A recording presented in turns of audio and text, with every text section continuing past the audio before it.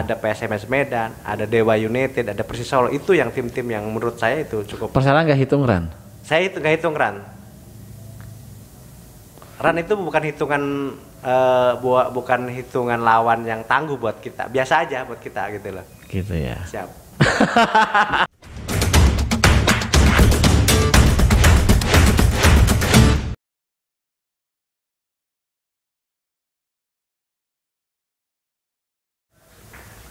Assalamualaikum warahmatullahi wabarakatuh. Bertemu lagi dengan saya Yadi Jaya Santika dalam podcast Kabar Banten.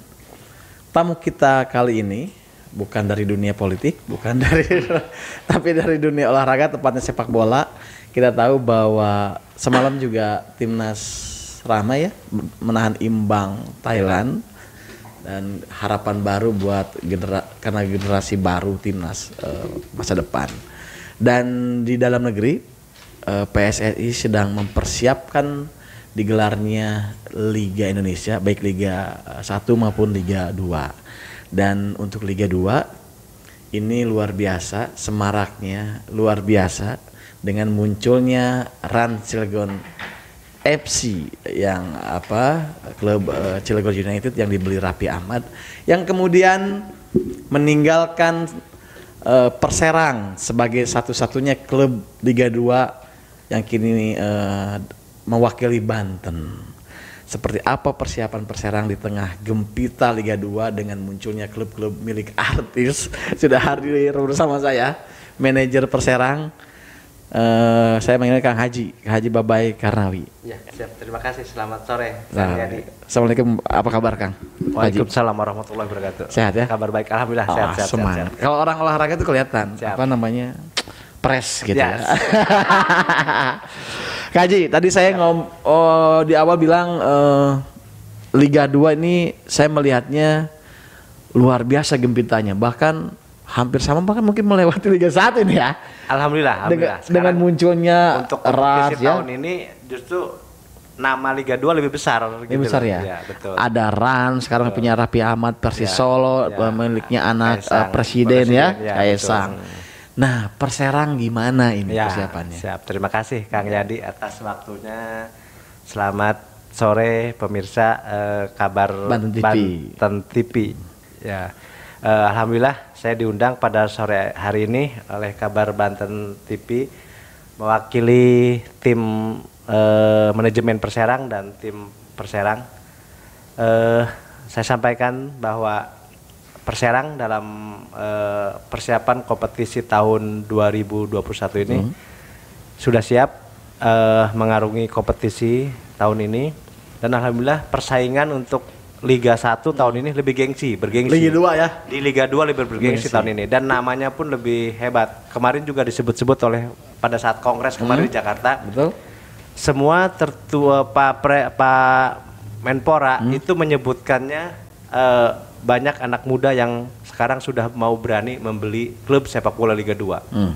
Ada Rans Cilegon oleh Rapi Ahmad, ada juga di sana eh, Kaisang anaknya para presiden yang Betul. sudah Persis Solo ya. Persis Solo itu saat kongres kemarin juga luar biasa rame semua eh, baru kali itu kongres rame karena ada artis dan anak presiden yang langsung turun dan eh, Pak Menpora menyebutkan bahwa ke depan akan lebih hebat lagi gitu loh Hmm. dan ini akan jadi pemicu buat kami tim Perserang untuk menunjukkan bahwa kami pun mampu gitu loh untuk bersaing dengan tim-tim yang dimiliki oleh mereka gitu.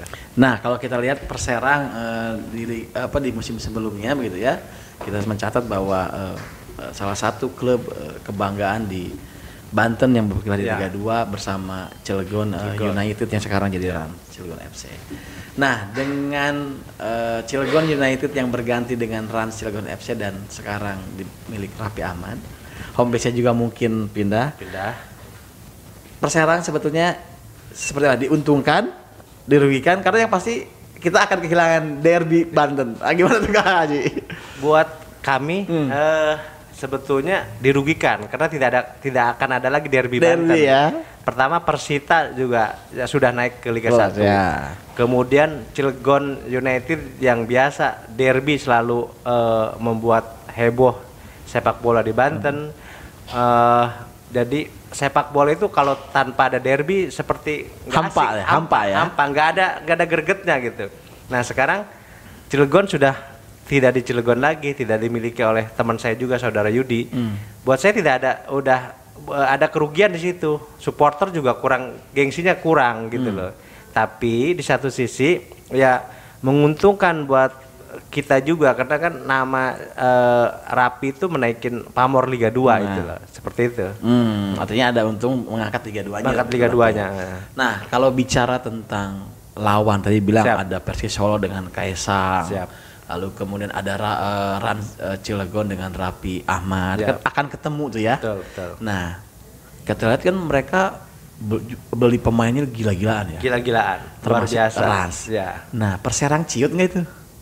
eh terima kasih buat kami tidak ada kata ciut karena sepak bola itu bola itu bulat Hmm. Ya. buat kami bola itu bulat bola itu bundar dan kami tidak takut sama mereka mereka karena Hmm. eh latihannya sama eh yang beda itu cuma gaji tok gitu loh. Ah. karena bolanya yang diperbutkan satu yang main bolanya sama ya penting motivasi teman-teman gitu loh. Hmm. Eh, walaupun mereka punya nama besar juga buat saya ya main bolanya penting motivasi teman-teman untuk bagaimana jangan sampai kalah gitu loh. Apa, eh, intinya kami nggak takut dengan nama-nama besar mereka dengan pemilik di belakangnya saya kami nggak takut. Malah justru kami tidak saat bertanding dengan mereka tidak ada beban gitu loh tidak ada beban karena kami mereka mungkin yang akan kami kalahkan Kebalik karena ya. dengan ada beban mereka Beban gitu ya, beban nama besar nama gitu besar ya, gitu loh Nah, kalau kita melihat eh, dari susunan pemain yang sudah di dirilis oleh beberapa tim, saya bilang tadi Ya. apa, Rans lalu kemudian Persis Solo dan klub-klub besar lainnya di Liga 2.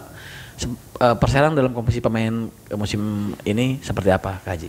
Eh, Alhamdulillah eh, susunan pemain Perserang dengan komposisi tahun ini lebih baik di tahun kemarin.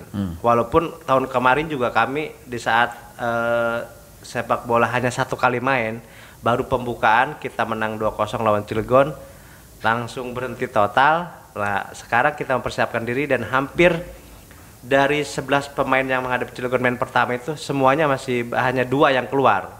Tapi penggantinya itu jauh lebih baik gitu loh. Karena yang masuk ke tim kami ada mant- empat mantan eh, punggawa Persita di situ. Ada ada penjaga gawang Yogi Triana, ada juga mantan pemain nasional yang eh, saudara Egi Melgiansa, mantan Persita. mantan Persita dan mantan pemain nasional. Pemain ya. nasional. Ada juga Henry, ada juga saudara Rio gitu. Jadi dengan memasuknya empat pemain itu dan ditambah ada juga beberapa pemain yang kami panggil, saya jamin dan saya yakin tim kami lebih baik dari tahun kemarin. Seperti itu. Oh, dan siap bersaing Siap dengan bersaing klub. dengan klub eh, peserta Liga 2 tahun 2001 ini. Dan tentu ketika menghadapi Rans Cilegon FC eh, tentu apa emosional pasti ada lah. Pasti ada. Bagaimanapun nama Cilegon masih ada. Masih ada, nama Masih Cilegon ada. masih, Masih ada. ada. dan itu akan jadi eh, penyemangat buat kami gitu eh, untuk mengalahkan mereka gitu kan. Hmm. Oh, gitu ya. Seperti itu. Nah, Kak Haji, ini ada ada hal yang menarik nih. Kalau kita belajar dari Cilegon United yang kemudian dibeli Rapi Ahmad Ya. karena persoalan pendanaan. Ya. Saya lihat Perserang baik-baik saja. Baik-baik saja. Alhamdulillah kita baik-baik saja. Nah, gimana tuh? Punya tim nggak supaya maksud saya apa eh, bagaimana Perserang eh, melakukan eh, untuk bisa bertahan baik secara prestasi maupun dari sisi finansial. Siap. Eh, intinya sebuah klub itu eh, didatangi oleh sponsor, oleh para donatur itu kan dengan prestasi. Dan kami pun sebetulnya punya eh, punya banyak adalah beberapa sponsor. Makanya dengan kami cukup eh, selalu eksis di kompetisi Liga 2 selalu di papan atas tidak pernah turun ke bawah dan selalu karena itu kami punya kemampuan di situ punya prestasi di situ. Apalagi insya Allah tahun ini tahun ini kami juga akan eh, apa namanya banyak sponsor yang akan masuk ke kami gitu loh. Banyak sponsor ada juga mantan sekjen PSSI Ibu Ratu Tisa yang tetap bergabung dengan kami yang masih bergabung dengan kami yaitu dan atas supportnya Ibu Bupati Ibu Sana. Raju Hatutatu Hasanah itu buat kami kebanggaan. Ada juga ketua umum kami adalah wakil wali kota Tangsel Bapak Pilar Haji Sag- Pilar Saga Iksan. Iksan. Yaitu akan menaikkan moral buat kami gitu loh. Seperti itu. Ada juga di situ kepengurusannya ada Bapak Haji Fahmi Hakim yang sebagai wakil Ketua DPRD Ketua- Banten eh, ya. Ketua DPRD Banten.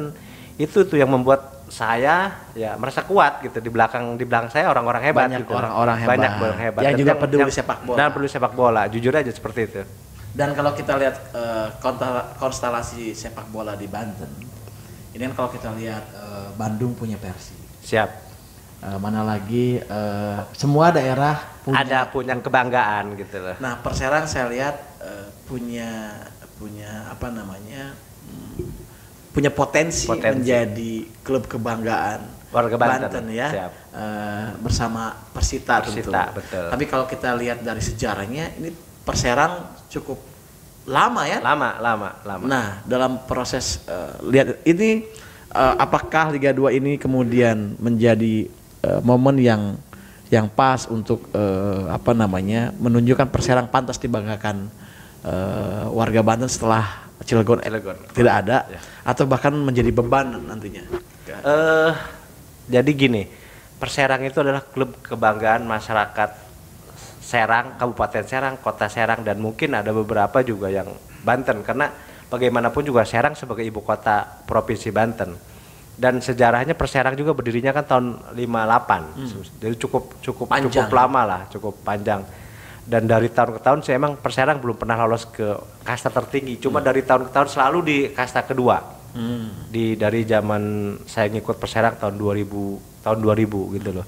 Jadi eh mudah-mudahan di tahun ini dengan adanya beberapa pemain bintang yang kita datangkan, kita punya target lolos ke Liga 1. Lolos ke Liga 1 dan mudah-mudahan seiring dengan eh seiring dengan kita lolos ke Liga 1 itu stadion yang kita yang mi- dimiliki Banten siapa tahu jadi jadi boleh jadi Ya, jadi tempat home base kita home base. walaupun kita sewa atau apa pun saya berharap selesai stadion Banten yang sedang dibangun itu yang cukup megah buat saya eh, itu akan menjadi home base-nya Perserang gitu loh.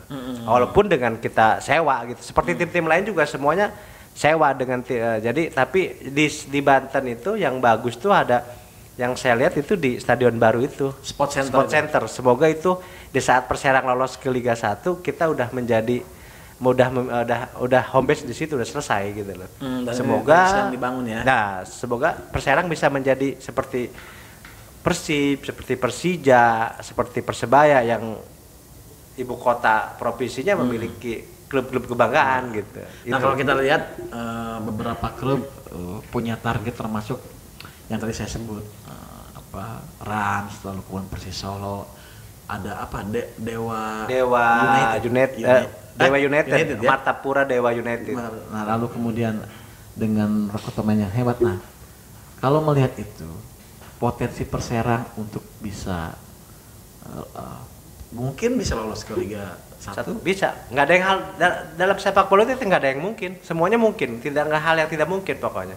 Hmm. Intinya dalam eh, dalam sepak bola itu tim yang besar pun bisa kalah, bisa degradasi. Betul. Bel- Jadi kak buat kami ya acuan saya karena hampir 21 tahun saya ngurus sepak bola, ya buat saya itu nggak ada hal yang tidak mungkin. Jadi saya buat saya tidak nggak pernah takut dengan nama besar dengan seperti itu gitu loh. Nah, soal kan dalam sepak bola juga finansial menjadi hal yang Betul. sangat krusial Kak Haji, ya. Betul, betul, betul. Kalau kita lihat termasuk kemarin Perserang eh, a- a- apa namanya? Eh, bukan terlibat, terseret, Terseret, dalam goyang eh, lah. soal, lahirnya Ran ya. Cilegon dengan mengambil eh, Nasuha ya. Ya, Nasuha. Nah, bukan tidak mungkin kemudian nanti Perserang punya bintang, kemudian Rans juga punya finansial yang kemudian diambil. nah, seperti apa itu menjaga itu Kak Haji? Dan soal proses nasional seperti apa sebetulnya? Sebetulnya kalau pro, eh, Nasuha diambil atau diambil oleh Rans United ya hal yang wajar dalam sepak bola, baik itu tim pelatih, baik itu pemain karena di saat Nasuha pindah atau kontrak eh, pindah ke ke Rans? Rans itu sudah selesai kontraknya di Desember. Oh. Karena gini, di Perserang itu dan di, di hampir seluruh klub di Indonesia yang baik Liga 2 atau Liga 1 hampir kontrak itu rata-rata satu tahun Per musim. Satu musim. Jadi di saat selesai musim kompetisi ya itu udah selesai lah. Otomatis ya? Otomatis. Makanya dia berhak untuk pindah ke mana klub dia yang mau dia mau gitu loh.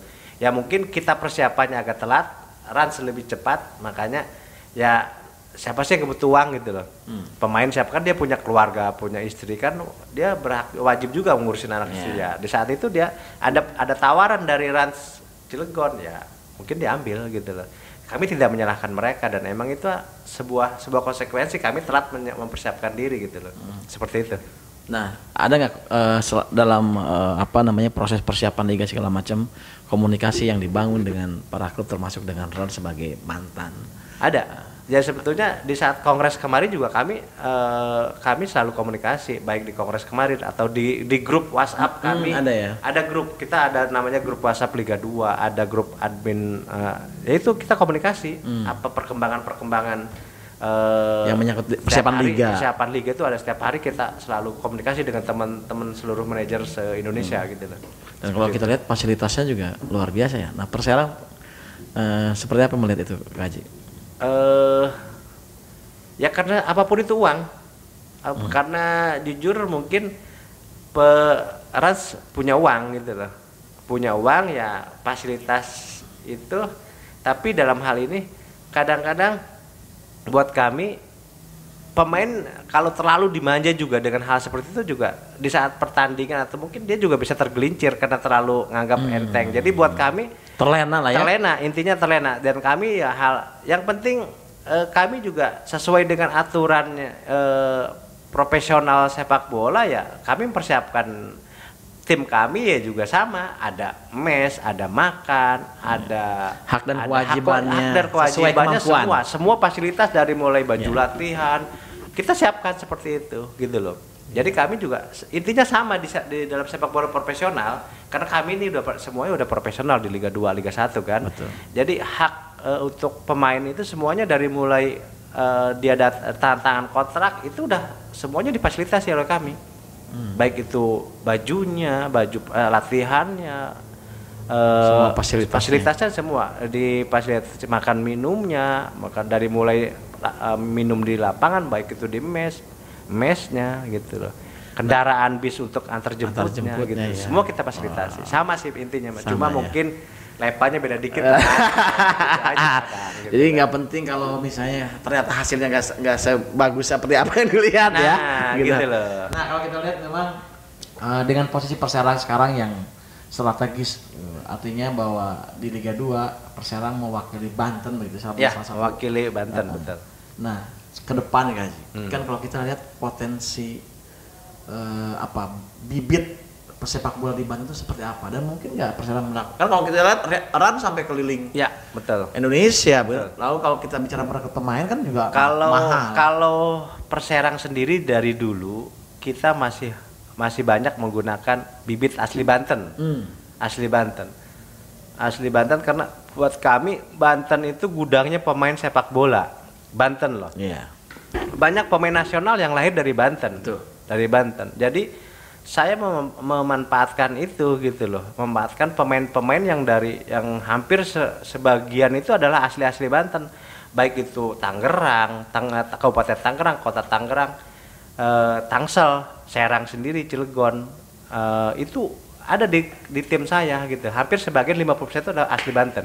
Karena eh, dari zaman dulu pemain-pemain Banten itu eh, untuk tingkat junior selalu juara di nasional gitu loh. Gitu loh. Jadi buat kami eh, daripada kita cari pemain yang jauh-jauh ya asli sini yang bagus yang karena potensi buat kami gitu. Fanatisme juga gitu loh. Seperti itu kan. Nah kalau kita lihat eh, di Banten sendiri menurut Kak Haji seperti apa sih eh, apa pembinaan terhadap bibit-bibit muda sepak bola? Buat kami sudah bagus. Banten sudah bagus eh, dengan ketua umum Asprop Bantennya Pak Pami Hakim sudah bagus eh, pembinaan eh, apa namanya eh, untuk eh, kom- eh, kompetisi SSB-nya ada suratinnya gitu loh. Jadi udah berjalan baik itu sepak bola putri maupun sepak bola Sudah jalan. ya? sudah jalan. Kan kita juga eh, eh, apa namanya eh, baik putra maupun putri kan juga ada kita. Hmm. Iya, Setiap, dari setiap kabupaten kota tuh mungkin ada puluhan lah di Banten mungkin ratusan S- sekolah sepak bola di Banten ini. Oh gitu ya? Iya. Saya belum terlalu dengar. Nah Banyak kalau banget. Hmm. kalau bicara eh, kebutuhan finansial nih, sebetulnya untuk klub Liga 2 berapa sih per musim itu kebutuhan da- dananya Haji? Kalau Untuk satu musim eh, tergantung kita target Hmm. Kalau target kita promosi mungkin di angka 25 miliar 25 menit. kalau kita punya target lolos karena kan kita harus mempersiapkan materi pemain eh, dengan angka-angka pemain-pemain bintang-bintang kan Hmm. Eh, tapi kalau kita ya tapi tergantung juga kadang-kadang materi besar juga hasil juga tidak Artinya terga- ukuran finansial segitu. Finansi- nah segitu tapi kalau untuk Liga 2 standar di angka 7 sampai 10 miliar 7 sampai 7 sampai 10 miliar. Selalu perserang kena- kenapa saya mengatakan seperti itu ya setiap kompetisi habisnya segitu gitu loh. Tapi bukan berarti target yang nggak menang kan kalau segitu di bawah. Oh, belum tentu. Bisa bisa hasilnya lebih besar eh, karena kan saya bilang tergantung kita pas tidaknya mengambil pemain, teknik kita cara bagaimana pemain ini ah, jangan jangan kita juga buat saya saya dengan tim pelatih itu jangan lihat mahal harganya, yang penting kualitas dia gitu loh. Karena main bola itu bukan harga, adalah kemauan dia pemain itu punya semangat, punya spirit Di kan. lapangan. Di lapangan punya eh, dia mengakui bahwa saya bangga dengan tim Persera itu udah buat saya luar biasa gitu karena dalam sepak bola itu saat pertandingan yang resmi itu yang akan jadi acuan buat kita kalau pemain tidak punya semangat fanatisme daerah yang dibelanya itu habis buat saya gitu kan Ya. Itu. Nah, sekarang juga muncul bintang-bintang Liga 1 yang beralih ke Liga 2 Liga ya. 2 betul Saya lihat eh, mungkin usianya relatif eh, sudah di Eh, atas. agak sedikit mau ujur Iya, lah betul. Saya mencatat ada Beto Gonçalves, ada Christian Gonzalez, begitu ya? ya betul betul salah. betul betul Nah, gimana tuh, Haji? Apakah nama besar juga menjadi apa ke pem- mental pemain terutama? Betul. Nah, gimana menyikapinya Kak Haji? melihat itu? Nama besar itu emang selalu ada. Hmm. Coba kalau terlalu usianya terlalu sepuh seperti itu juga kan sepak bola itu kan sepak bola da- 90 menit. 90 menit. Umur usia itu kan jelas masih siapa yang paling kuat dalam fisik. Karena sepak bola itu adalah olahraga fisik Betul. dan kerja walaupun kerja sama tim. Karena 90 menit itu lari terus gitu loh. Lari Iya. terus main bola. Kalau sepak bola udah jalan habis dia. Jadi buat saya nama besar untuk menaikkan rating, mencari sponsor betul. Betul. Tapi kalau untuk prestasi saya pikir ya saya saya tidak sependapat kalau dengan nama besar bisa prestasi saya enggak. Karena saya mah lebih suka pemain muda yang punya spirit yang eh, yang main bolanya ya kejar bola gitu, kejar bola tutup lawan bukan hanya Dan hasilnya jalan menang. kaki gitu. Dan itu kalau main bola udah habis pasti saya pikir gitu. Artinya bahwa industri itu sangat dibutuhkan, tapi Dibutuhkan. kemudian untuk untuk prestasi, prestasi bukan segalanya. nah, bukan segalanya karena prestasi itu adalah pemain-pemain ya eh, bisa ko- ko- kolaborasi gitu antar senior dan junior cuma tergantung cara ngambil bagaimana pemain yang pas buat tim itu kan gitu seperti itu Nah, pelatih Perserang gimana sekarang? Pelatih Perserang eh, yang tahun kemarin juga kita pakai eh, Putut Wijanarko ini juga kan pernah jadi la- Betul. eh, mantan pemain Timnas ya. timnas juga pernah- Persebaya ya, Persebaya? persebaya lama banget ya, ya cukup cukup inilah gitu lah Dan sudah hafal pemain Perserang. Betul. ya? Kemudian juga di asisten pelatihnya pun kita ada penjaga gawang eh, Tema Mursadat juga kan pernah Oh, mantan Persib. mantan Persib juga, mantan penjaga gawang Persib, mantan penjaga gawang Persikota gitu kan. Betul. Nah, jadi juga lu cukup kemudian ada Mustafa Aji juga yang mantan pemain Persikabo, Perserang gitu. Cukup Persikota juga dia. Ada juga pelatih fisiknya saudara Dani, dia juga eh, dia juga pelatih fisik kita ini juga luar biasa buat saya karena asli Serang, asli Oh. Serang, SSB-nya SSB Serang juga, Sengandaru. Eh, kemudian dia juga eh, pernah dipakai oleh timnas juga gitu loh. Hmm. Jadi ya seperti. Perserang nggak kalah kualitasnya. nggak kalah kualitasnya buat buat sama tim-tim lain gitu. Iya, kalau misalnya nih, eh walaupun derbynya mungkin nanti tidak murni dari Banten karena Betul. dengan eh, Rans Cilegon, Cilegon, betul. tapi nama Cilegon masih ada, Masih ada. dan sejarah tidak bisa dihapus. Dihapus Haji. betul betul betul. Nah, kalau melihat kekuatan sekarang, Kak Haji melihatnya Perserang mampu ngalahin Rans. Saya yakin mampu dan saya yakin mampu. Dan teman-teman juga udah pasti yakin dengan materi pemain Ran Cilegon dengan materi pemain Perserang yakin Perserang akan mampu untuk mengalahkan itu.